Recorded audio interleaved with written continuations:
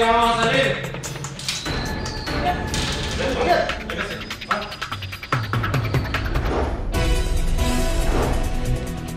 Es un agente especial de cuatro patas que se sumó a las filas de los azules en la delegación de El Carmen en Cuscatlán hace cuatro años.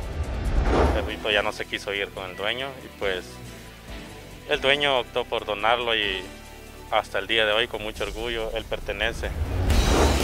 Montado en las patrullas, vigila y olfatea el camino rumbo a los cantones más escabrosos.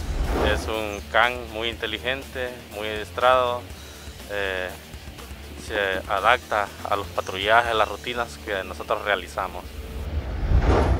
Llegaron al cantón La Paz y este nariz helada es el que encabeza el recorrido. Olfatea y cuida a sus fieles amigos de placa.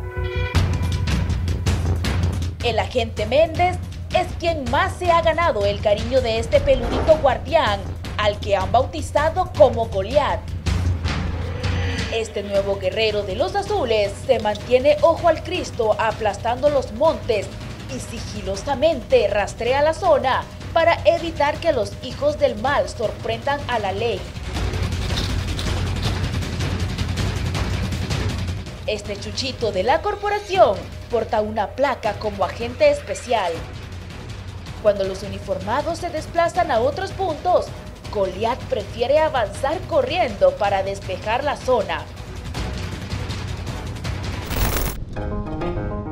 Patrullaje terminó y el agente de cuatro patas necesita recargar baterías. Es tan querido que sus compañeros lo premian con una ducha. Cada vez que nosotros realizamos un patrullaje, rutina diaria, eh, tiene un merecido baño para que él se sienta muy bien y ande siempre activo. Así transcurren los días para este peludito en la fila de los guerreros del pueblo. Flor Guerrero, Código 21.